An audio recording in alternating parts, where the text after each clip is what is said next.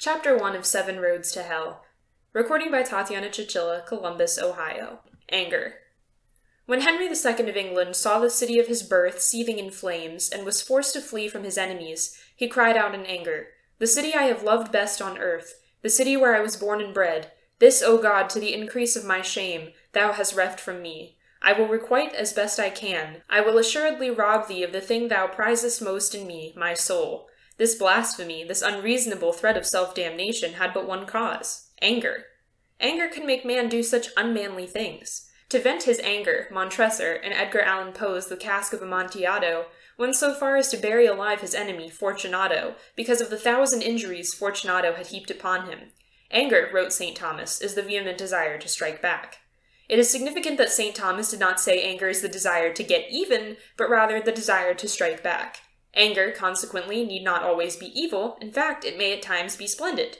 If a mother, for instance, did not strike back the child that strikes her, the mother's love would indeed be something weak and vicious, unworthy of a mother. If Christ had not defended his father's house, and, in divine anger, driven out the money changers, he would not have had the virtue of zeal.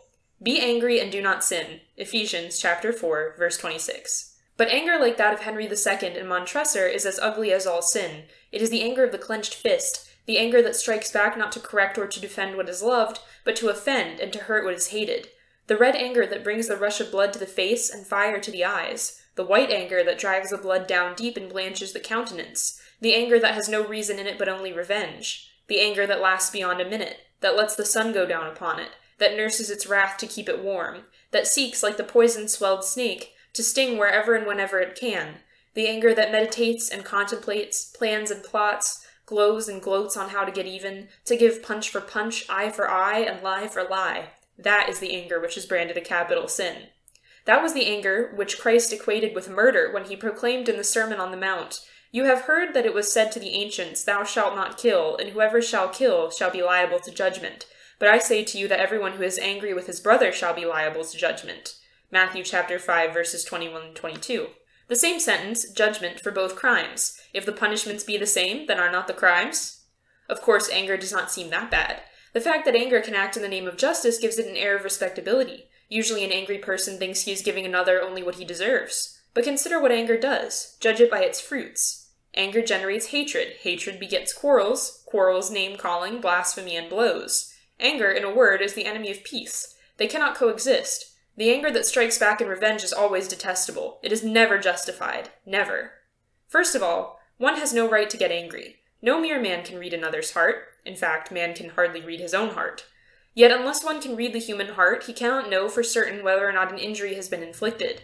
For an injury is not an injury unless it comes from the heart. No evil intended, no evil done. On the contrary, were one able to know all the circumstances entering into a human act, far from condemning, such a one would only praise. To know all is to forgive all.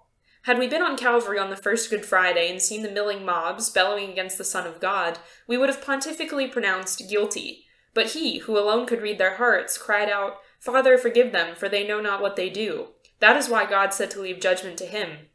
Revenge is mine, saith the Lord, I will repay. He alone knows the human heart.